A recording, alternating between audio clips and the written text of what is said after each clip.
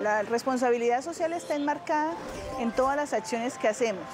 desde el trato, la forma como nosotros interactuamos, la ética, la responsabilidad en nuestras actuaciones, eh, tanto con los contratistas, nuestros proveedores, con los mismos trabajadores y con diferentes programas que desarrolla la empresa en beneficio de la comunidad. Son programas que hace eh, de manera voluntaria